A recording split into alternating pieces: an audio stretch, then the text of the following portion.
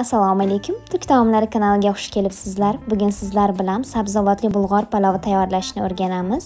Agar kanalimizda yangi bo'lsangiz bizga dastak bo'lish uchun obuna bo'lishni unutmang. Avval bir qoshiq sariyog'ni qozonga solib eritib olinadi. Orqasidan bir dona to'g'ralgan piyozni solib qizartirib olamiz. Keyin esa ikkita yashil bulg'ori qalampiri bir dona kubik shaklida to'g'ralgan pomidorni solib ozgina qovuriladi. Endi esa yaxshilab yuvilgan 150 gramm bulg'or bug'doyini solib qovurib olinadi. Qovurilganidan keyin 1,5-2 stakan ya'ni 150-200 mg suv quyiladi.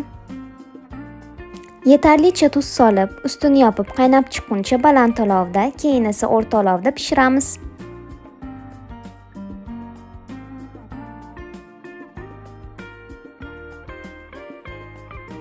Oxirgi bo'lib pishguncha pasta olovga olinadi.